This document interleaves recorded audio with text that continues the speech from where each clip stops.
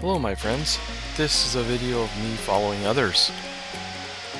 We put up a couple new towers, so now that we have four, we fly a low pattern, and we turn a 180 degree, and then we fly for the overpass.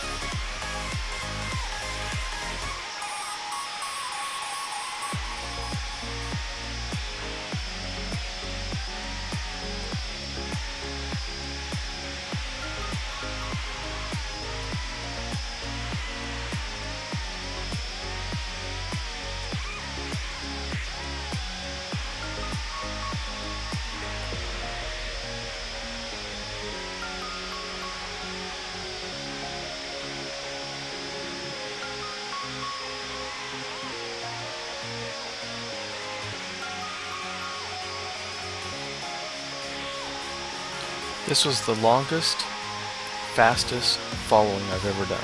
It was a lot of fun. One complete lap at full throttle. Or at least as fast as I can fly